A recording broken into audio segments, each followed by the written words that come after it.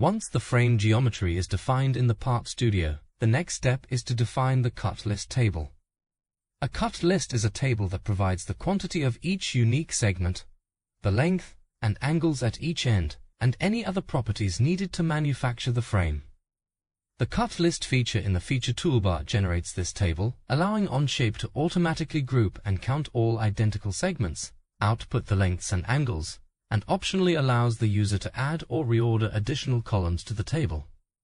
The cut list feature not only creates the cut list table, but also combines the selected individual segments of the frame into a group, called an open composite part. As a review, a composite part consumes parts, surfaces, and other entities in a part studio to be one part that displays in a bill of materials in an assembly or used in other workflows as a single part. A closed composite part completely consumes the individual parts that make up the composite, and they are no longer available individually.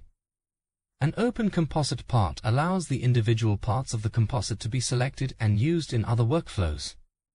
When working with frame structures, it is common to treat the entire frame as an individual part in a top-level assembly, but still requiring access to the individual segments that make up the frame to detail on a drawing sheet for example. In this way, consuming the individual segments into an open composite part, when using the cut list feature, provides the flexibility to define the frame as a single part and also use the individual segments when needed. Let's take a look at using the cut list feature.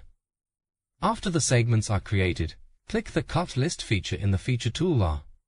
To include all the frames in the Part Studio, check Select All Frames.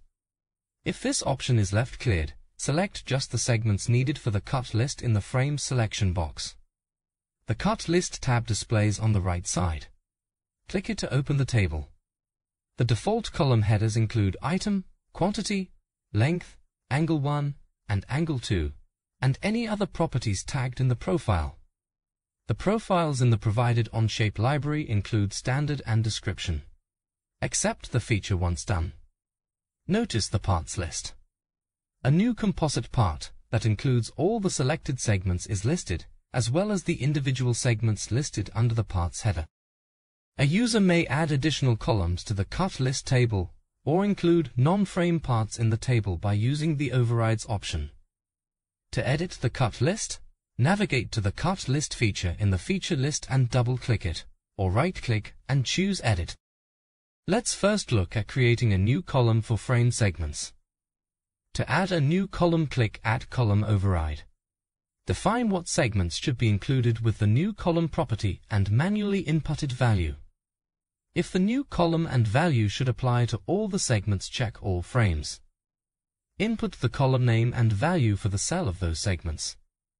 Notice the question mark equals question mark notation in the dialog fills in with the column header on the left side of the equal sign and the value on the right side.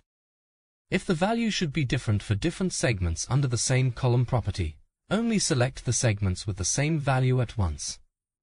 Then, create another column override for the next value, being sure to input the same column property.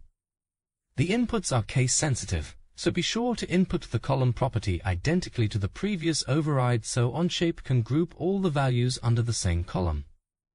Clear the same frames as previous checkbox and select the other segments. Repeat as needed. To add additional parts that are not frame segments to the table, use the same column override option. Click Add Column Override, choose the parts in the frame selection field of the dialog, input the column property and value. Repeat for each needed column. Check same frames as previous checkbox to apply the new column and value to the same parts as previously selected. If any cell does not have a value the cell in the table shows not set. If you add an override, there must be a column input for the feature to generate. To remove an override, click the X at the top of that override input. Accept the cut list feature when done. To rename the table, edit the feature name. Right-click on the feature in the feature list and select Rename. Notice the table name changes. To move columns, right-click on the column and select Move Left or Move Right. To hide a column, right-click and choose Hide Column. The table can be copied to a spreadsheet application by selecting the overflow icon and choosing Copy Table. Then you may paste the clipboard in another application.